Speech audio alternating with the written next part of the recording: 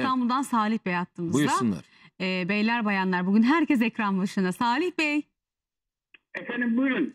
Efendim siz buyurun hoş geldiniz. Canlı yayındasınız. Teşekkür ederim. Buyurun. Ben e, rüyama geçeyim efendim. Lütfen Buyurun. dinliyoruz. Ben e, üç tane dalgıçla beraber balık avlamaya giden kişileri takip ediyorum. Orada ben onlar balık avlarken ben de karaya çık- çıkmış vaziyetteyim. Denizdeyim ama. E, efendim ondan sonra üç, üç tane beyaz domuz bana doğru geliyor. Tam bana hamle edecekleri zaman tekrardan denize doğru açılıyorlar. Rüyam bu efendim yani. Onu öğrenmek istiyorum. Salih Bey Allah izin verirse hayırlı bir yol var önünüzde. Sizin eğer çok istediğiniz, çok muratla istediğiniz bir yola gideceksiniz. Allah nasip ederse balıkların olması, orada balık isminin geçmesi, hayırlı işleriniz, hayırlı güçleriniz olacak. Fakat orada üç kişinin ya da üç tane e, domuz isminde bir hayvan olması, sizin üstünüze gelmesi, sizi çekemeyen bir takım çevrenizde bulunan kişiler var ama onlara kafanızı takmayın. Allah izin verirse yaşamışsanız eğer bir problem tereyağından kıl çeker gibi E, kurtulacaksınız. domuz mu çekemeyen insanlar olduğunu gösteriyor? E tabi. Sinsi düşünen, Onlar hep var zaten. sinsi düşünen, hain düşünen insan diyor yani kişi. Bayburt'tan Seher Hanım attığımızda. Seher Hanım Alo iyi günler. hoş geldiniz. Hemen dinliyoruz Hoş sizi buyurun. Hemen anlatayım ben. Ee, Lütfen. annemle beraber bir yerde yürüyorduk böyle toprak bir yoldu. Sonra ev tutmuşuz güya. Girdik içeriye. Sedir vardı böyle eskilerin sediri olur ya hani.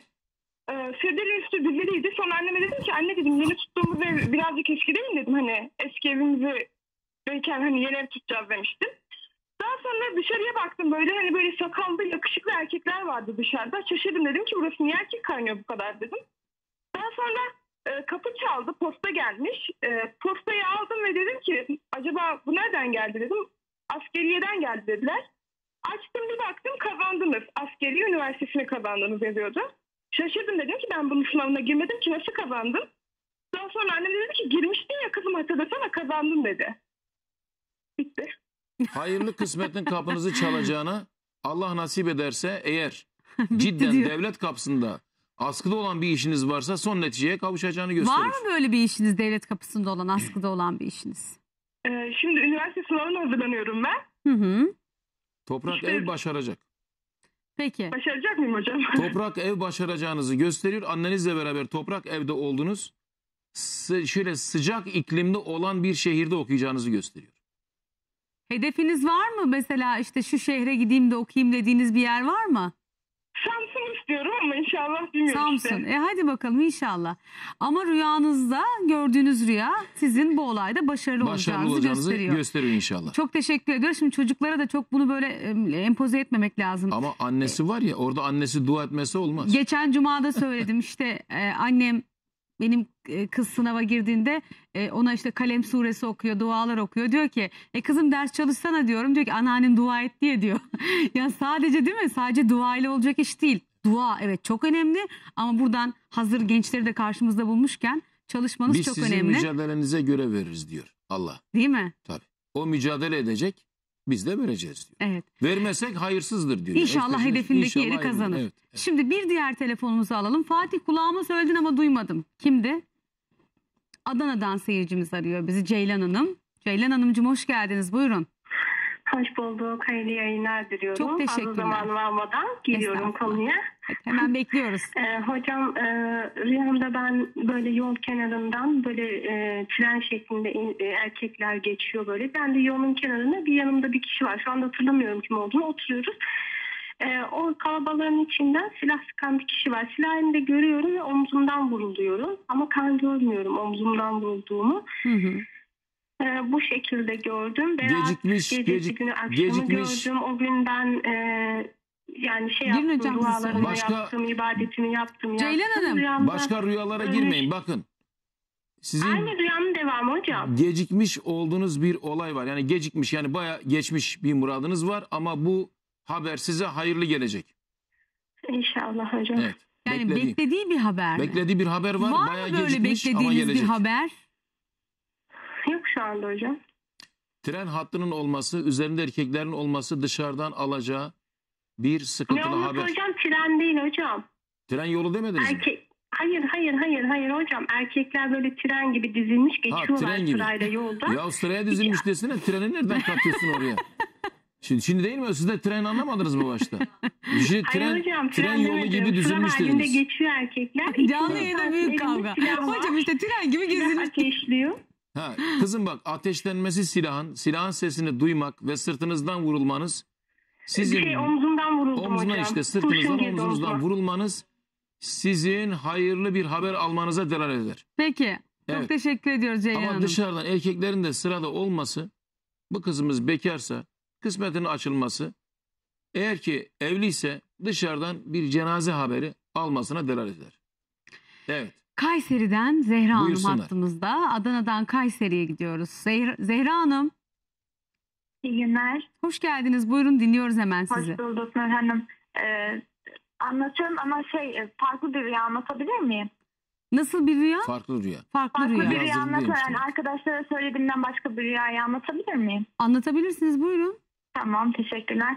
Ee, ben rüyamda ailemle köye gidiyoruz. Tamam. gün de bayrammış. Hı. Ee, daha sonra babaannemin evine gidiyoruz. Orada evde akrabalar falan var. Odayı geçiyoruz. Daha sonra benim üzerimde subay üniforması var. Ve e, orada eski sevdiğim de var. Ve e, onun üzerinde polis üniforması var. Daha sonra e, karşı karşıya geliyoruz ve el ele sıkışıyoruz. Bu kadar. Orayı da küçük sesle söylüyor. Evet. Eski sevdiğim. O ayrılmış olduğu eski sevdiği kişi Hı. Allah nasip ederse bu kızımızla bir görüşme yapacak ya da onunla geri konuşacak. Kızımızın polis üniforması olması onda yani kızda değil çocukta bu arkadaşımızı bu kızımızı ziyaret edecek. Öyle bir iletişim var mı? Konuşuyor musunuz? vardı e, önceden. Herhalde şöyle söyleyeyim. 5-6 ay önceydi. Bu rüyayı da 2 ay önce gördüm. Peki mesela siz onun tekrar sizi aramasını istiyor musunuz? Görüşmek istiyor musunuz? Yani kırgınlık var. Tamam kırgınlık var ama sesten anladığım kadarıyla da İstiyor. bir gönülde de kalmış. bir görüşmek isteği var. Evet. Ama hocamın dediğine göre Ama o o kendisi kedi buraya gelecek. gelecek ama Zehra kızımız sakın yerinden kıpırdamaz. Yani yazmasın, çizmesin, aramasın. Ha o arayacak diyor. E şimdi o asker çocuk da polis üniforması giymiş. Ne olursa olsun o buna dönüş yapacak. Dönecek inşallah. Hadi Evet. bakalım. Peki çok teşekkür ediyoruz. Hemen sıradaki seyircimize alo diyelim. Alo. Damla Hanım Alo merhaba. Ankara'dan. Hoş geldiniz. Buyurun merhabalar. Hoş bulduk merhaba iyi yayınlar Çok diliyorum. teşekkürler. Ee, buyurun. hocam müsaade ederse ben iki rüyamı anlatmak istiyorum. Ee, vaktinizi alacağım ama özür dilerim. Biz bir tanesini alalım ya. Vallahi bak inan o kadar yazıyorlar. Ben burada görüyorum Nur'u. Söyleyemiyor, kıramıyor. Gerçekten devamlı Tamam. yazıyorlar oradan. Hak yemeyelim Tamam bir hocam. tane. Tamam hocam bir tanesini Buyurun, anlatıyorum. Ee, şimdi ben rüyamda hocam e, tanımadığım bir insanın üzerime na- e, nazar boncuğu taktığını gördüm. Nazar boncuğunu takarken iğne kırılıyordu. Nazar boncuğu yere düşüyordu ama takan kişiyi hiç tanımıyordum. Peki Damla Hanım e, kimin yanında konuştunuz efendim bu bir iki hafta? Ya da bir ay içerisinde? Ee, yani Dedikodu olarak ya da Evet. sizin yanınızda biri dedikodu yaptı mı? yanımda yani illaki yapılıyor hocam. İlla ki değil bakın bu rüya uyarıyor.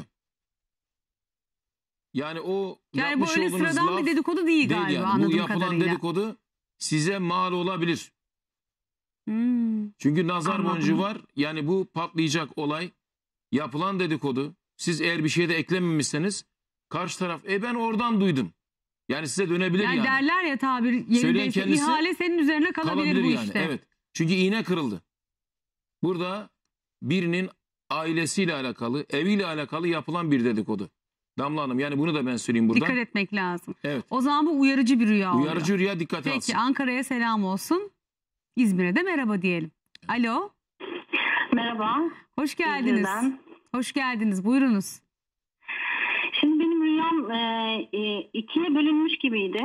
Hı. Birincisi bir a- yani yanımda birkaç kişinin ve babamın yani ailemin olduğu bir yer hepimiz birlikte bir böyle çok açık dağların olduğu denizlerin olduğu bir yere gittik. Hı hı. Babam dedi ki burayı çok beğendim burada kalacağım ben dedi. Ondan sonra oradan hemen başka bir şey gördüm ben. Ee, ölmüş yani geçen sene kaybettiğim kayınvalidem var. Onun Başınız evinde gördüm kendimi. Gerçek hayatta bir beklentimiz var parayla ilgili. Ha, Ve ama onun ya, evine gittim. kendi hayatınızla Evinde- ilgili bilgi vermeyin ne olur. Ha tamam. Ee, evine gittim. Evinde dedim ki e, bizim paramız gelmiş gidip alın falan dedim. Hı. E, kızım, eşim ve küçük kızım gidip hepsi birer bavul para alıp geldiler. Para kağıt Bu- mıydı bozuk para mıydı? Parayı vermedim. Sadece e, bavulla para alıp geldi. geldiğini gördüler. Gördüm yani. Onu Bavulla sormayacak getirdiler. mıydınız Hepsi hocam aynı şimdi? renk. Üç Kağıt tane para mı? bavul getirdiler. S- Şimdi benim yerime soruyorsun. ben bir şey diyemiyorum artık. Ama iyi yapıyorsun. Yanlışı var kardeşim bak. Sizin ailevi yani kayınvalidenizin ve akrabalarınız hani kardeşlerinizle alakalı yani eşinizin kardeşleri daha doğrusu problem çıkacak. Bir problem ve bir sıkıntı var. Babanız da bir hastalık atlatacak. Bunu gösteriyor. Bir rahatsızlık atlatacak yani babanız. Hattaysanız tabii. Ee, ama her halükarda elinize yine geçecek olan bir valiz olması yine size düşen payı verecekler. Ama İnşallah. burada orada ortamı bozan biri var.